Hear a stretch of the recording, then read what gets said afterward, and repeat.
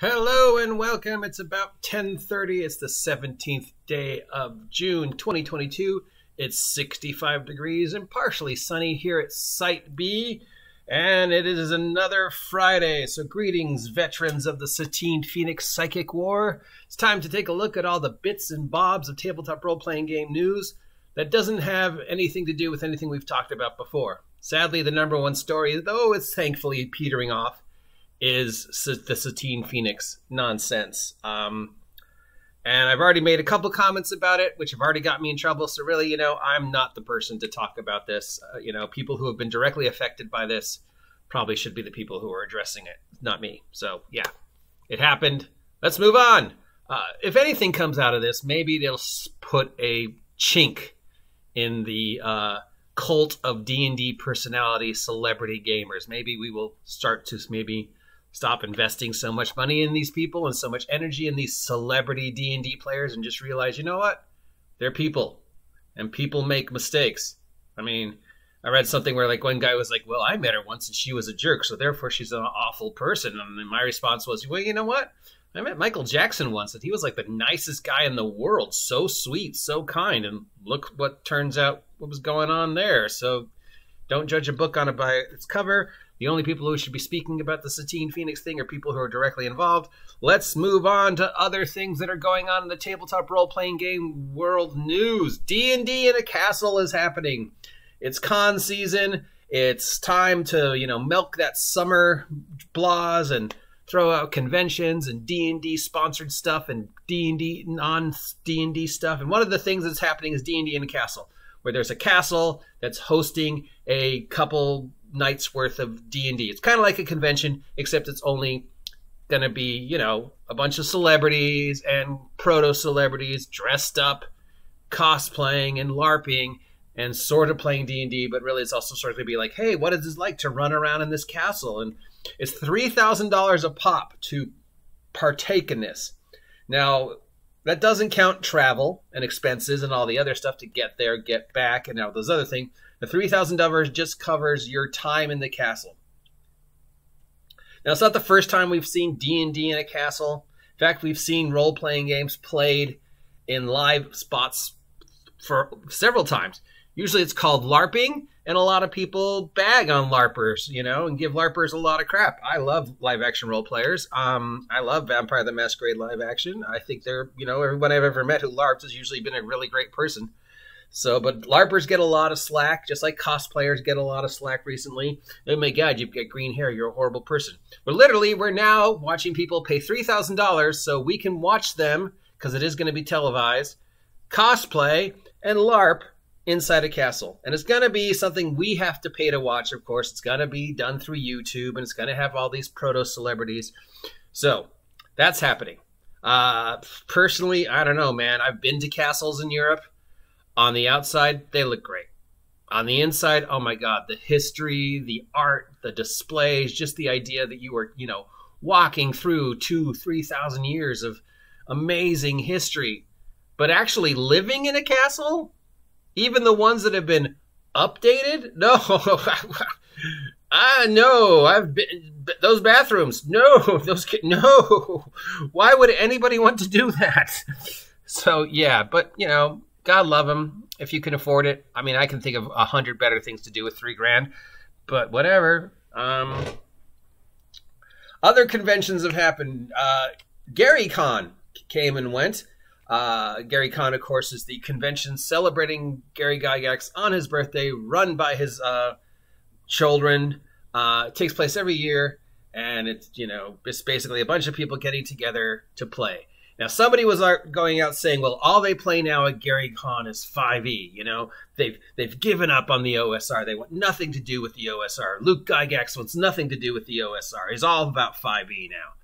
So, in response to that, I went and looked at the Gary Con site to try and see if I could find a list of the games that were played, and I could only find a small list because it doesn't include the stuff that was just open gaming, and apparently there was a lot, a lot of open gamings. But based upon what little I could find, it looks like yes, there were people there who represented Fifth Edition and were playing Fifth Edition. Maybe five to ten percent of the games being played there were fifth edition or fifth edition adjacent. You want to know what the other 90% of games were? OSR games. You know what kind of games Luke Gygax makes and runs and writes for? OSR. You know what Luke and Gygax plays? Advanced Dungeons and Dragons.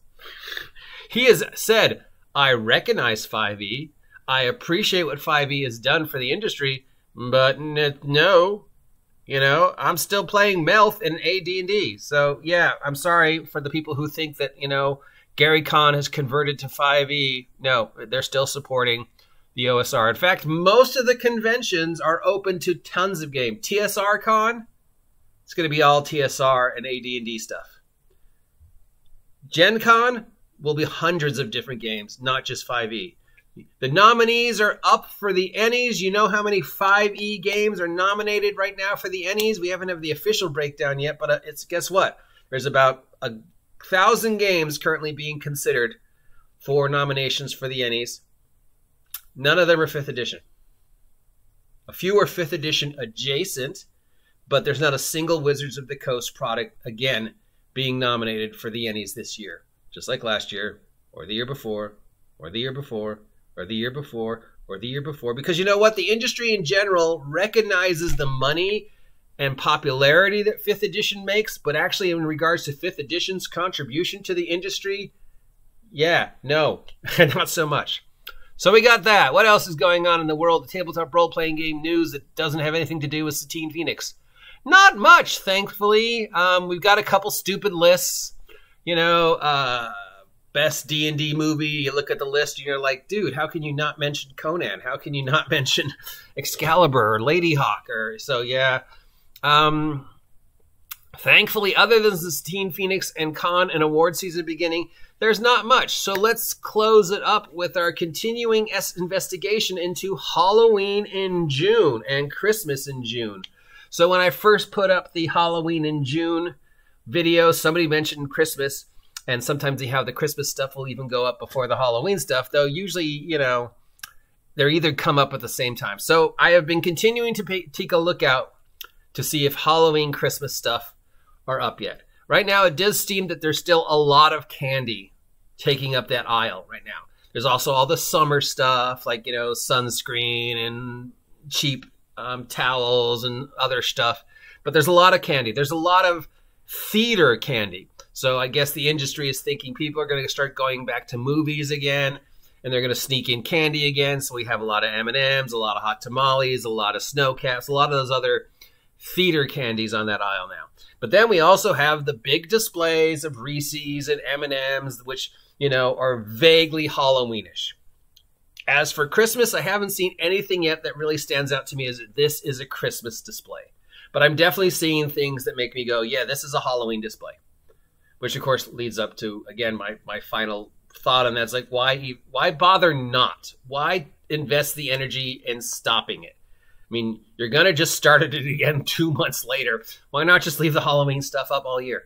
You know, it's like your number two source of revenue or number one source of revenue for just you know candy and shit. Why not? Um, I have seen not one, not two, but three three YouTube videos go up in the last 72 hours about people going to haunts. Now, technically, it should be the haunt off season. It's the summer. They might do a Christmas in July one day haunt or a Friday the 13th one day haunt. But most of the full year haunts should be shut down right now so they can use this time to fix things, create new things, repair stuff, hire new people, look at the new technology, stuff like that. The fact that there's already doing walkthroughs for haunts in June again just shows the how important Halloween has become as a revenue building thing. Universal is putting up mazes now for for Halloween Haunt. In fact, the second Halloween Haunt, see, Universal understands. You know, give him what, what credit was due when it comes to ha- Halloween Horror Nights. The second Halloween Horror Nights was over, they tore down all the mazes, took a couple days off, and then started building the new mazes. Knott's Scary Farm tore down the mazes, took a couple days off. Now they're starting to work on the new mazes. You know, all the big major amusement park center haunts are already setting up. Universal is leading ahead. They've already got mazes that are like 80% complete. They're just, you know, experimenting with the tech and the stuff like that and the lines and the wait time and all the psychology and the repairs and all everything that goes into building a haunt so they can get the haunts up and running you know in september Octo- early october probably september you know we'll see soft walkthroughs in september so yeah so halloween is a thing now 365 days a year. I mean there's no reason for it not to be. So because i love halloween because october is my favorite month of the year because I have been to Knott's Scary Farm with the exception of the last three years, pretty much every year of my life since I was nine. Um, well, I mean, you know, I didn't go when I was in college because I wasn't in, in LA, and I didn't go during um, COVID. And there's a couple other years I missed, but you know, consistently I've pretty much gone. So I love Halloween. I love haunts. I don't like the gory haunts, which is you know I've talked about in other things, and we'll talk about again as we get to Spooktober. Um, but I like like the classic, quirky, traditional, almost quaint and charming haunts. Like I'm a huge fan of Haunted Mansion. Um, and Knott's Scary Farm, especially older Knott's Scary Farm, has always been one of my favorites. I I have been to Universal. You know, I did go to Universal last year for a press thing where uh, and we could only, you know, because of the person I was with, and we both we both deal with um, multiple head issues. We could only do like two things before our brains was burnt out. So basically, we spent the rest of the evening just walking around, looking at the out outward stuff and eating the weird food because we just we knew our heads couldn't take how intense the mazes have become. But when I went to Disneyland and went through uh, Mansion, fine, it was great. So whatever. It's that's the only other news I got. Um, so in closing, yes, the Satine Phoenix thing did happen. I'm not going to talk about it anymore.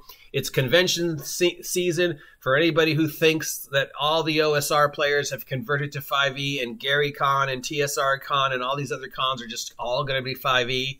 That is completely incorrect, and I can show you the link that has the list of the games. Uh, and in regards to my other big story, about uh, Halloween. Yeah, we're going to still follow that. There is another article about religion in D and D. So this is like what uh, the eighth or tenth article I've seen pop up about religion in D and D. Um, which I don't get. I mean, of all the things you're going to worry about when D and D, religion is usually never the first. And when you do, you know, if you're not running a pre-published world that comes with its own religion, chances are if you're gonna make up your own religion, it's gonna be based on shit you already know. Right? Uh, Norse, Greek, Egyptian, whatever. That's the stuff we know here on Earth. That's the stuff we're exposed to. If we're going to create a fantasy world, our religions for that fantasy world are going to be loosely based upon what we know. Um, so I don't understand why there's so many articles on religion. Is it just becoming a big thing? Are we? I mean, I know we argue about religion in real life. Are we now arguing about religion in fantasy life as well? Oh my God, your religion is Norse based. Well, my religion is Celtic based, so therefore I'm better. Anybody who's Norse based is like just an ist. Yeah, whatever. Probably. I don't know. It's just for love of the game, you know, for the love of the game the ridiculousness is just at an all-time high. So you either just appreciate the ridiculousness and or you just choose to walk away. Right now I'm still appreciating just how stupid this has become, but I know I'm reaching the point where I'm like, you know, maybe it's time to just walk away for a bit cuz you know, the threats and the the stuff and the accusations and the the name calling and st- it's, it it gets it gets hard after a while. You know, the all the threats I receive and all the insults and you know people constantly telling lies about me and my friends. That after a while, that just like you know what, it's not worth it. I'm not getting paid for this. Which is why you should subscribe to help me hit 1,000 subs so I can start getting paid for this. Remember, there's no question in your mind from day one. I have said my goal is to get 1,000 subs to get paid for doing this, and I will fucking sell out. So if you appreciate my honesty, consider subscribing and supporting the OGGM.